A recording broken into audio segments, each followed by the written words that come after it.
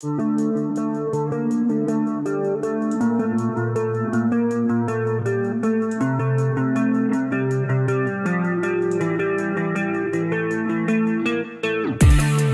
antes de estar iniciando essa avaliação, a gente já gostaria de agradecer o Geo Veículos. Eles emprestaram essa nave para a gente estar tá fazendo essa avaliação. Ele está custando R$ 67.900. O contato do Gel vai estar tá aqui na descrição, mas assista o vídeo inteiro. O Jetta começou a ser produzido em 1979, mas só chegou no Brasil exportado em 1999. Nós vamos lá para a sua frente. Olha que capô bonito, ele tem um vinco na lateral, seus faróis também de duplo refletor, a sua grade no black piano. Ele, o, o cara colocou esse, essa fitinha vermelha aqui, ó, que ficou muito bonito também, com esses detalhes em cromado, o logo da montadora no meio. Ficou show de bola. Tem sensores de estacionamento também. Abaixo temos faróis de neblina. Abrindo seu capuz já vemos de cara uma manta acústica. Ele não possui braço pantográfico. E caramba, a Volkswagen podia ter ponhado, né? Mas, enfim. Esse motor aqui é o 2.0 Flex, com 120 cavalos no etanol e 116 na gasolina. É uma rotação máxima de 5 mil giros e um torque máximo de 18,4. Enfim, não é o TSI, mas é top também. Hein? Essa sexta geração chegou em 2011 aqui no Brasil. Mas vamos lá que lateral sensacional esse Jetta tem, você é louco, ó. Ele não tem friso, mas as maçanetas e o retrovisor é na cor do veículo. A setinha também já é embutida. E sem contar que ele tem teto solar ali também, ó. Que isso daí deixou o carro lindo demais. E as suas rodas, então, aro 17, você é louco, sem comentários. A sua traseira, então, olha que linda. Ele possui o desembaçador ali no vidro, o brake light. A sua interna, então, você é louco, caramelo lá dentro, dá pra ver daqui, ó. Apaixonante. A tampa traseira, ó, muito bonita, com o logo da montadora no meio. Ali a motorização 2.0 Aqui é o nome Jetta, as suas lanternas lindas, ó, de apaixonar, os sensores de estacionamento no para-choque e com refletores ali, ó, sem comentários.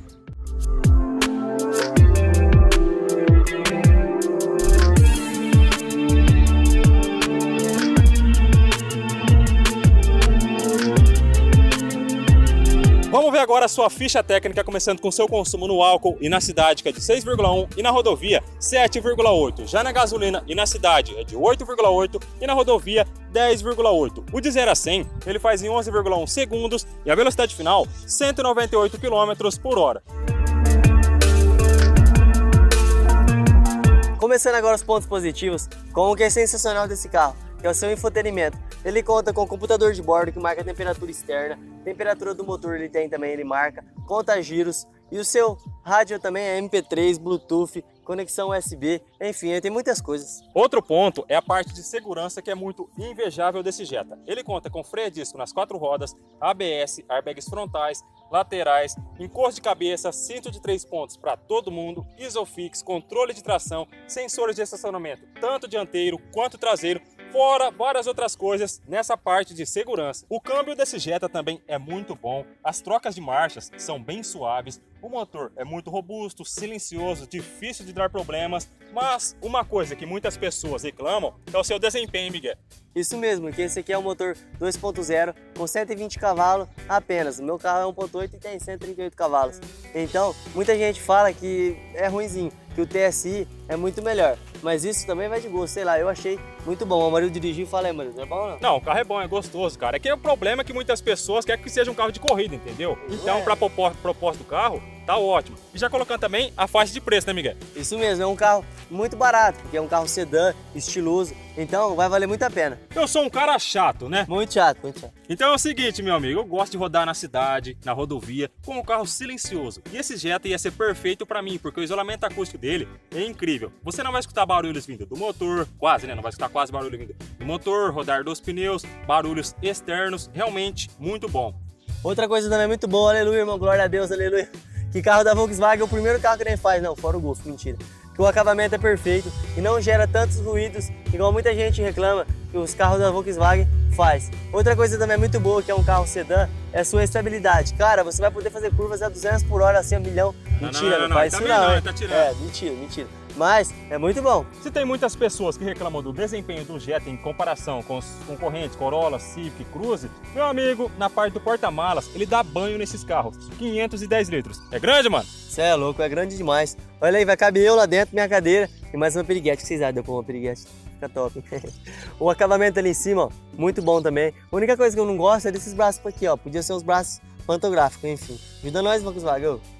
Tem a soleira aqui também muito boa para não riscar o carro. Tem porta-objetos, tanto ali como ali, ó. Cadê a iluminação? Tem, iluminação, tem uma iluminação de LED aqui, ó, tá vendo? Aqui você puxa, se você quiser que deite o banco do, do passageiro ali para caber mais coisas, vai ficar bem legal. Mostra aí. Olha lá, o step também não é aquele step de bicicleta. Enfim, é um porta-malas que não deixa a desejar, hein?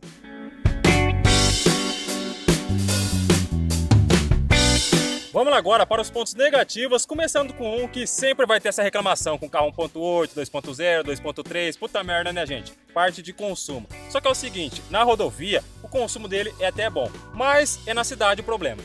E outra coisa também que muita gente chata reclama ó, é do seu motor e do seu desempenho. Mas cara, eu não vou reclamar não. E se você tiver um também reclamar, é porque você não gosta do carro, porque você é louco, é um carro muito bom. Se a gente falou que ele tá numa faixa de preço boa para você comprar, o duro, meu irmão, é você manter, né?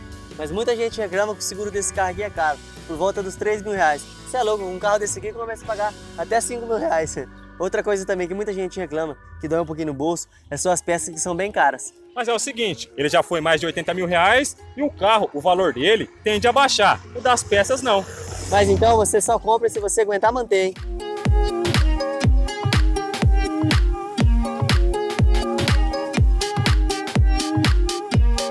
Então, meu amigo, essa foi a avaliação desse Jetta 2.0, lindo demais. Meus amigos, desculpe qualquer coisa se ficou muito acelerado o vídeo, é porque o carro já está vendido, só estamos esperando a pessoa vir buscar e levar ele. E a parte 2, que vai ser a parte interna desse carro, vai estar tá aqui no comentário daqui dois dias. E se você gostou dessa avaliação da parte externa, não esqueça de se inscrever aqui no canal, ative o sininho de notificações e a gente se encontra em um próximo vídeo.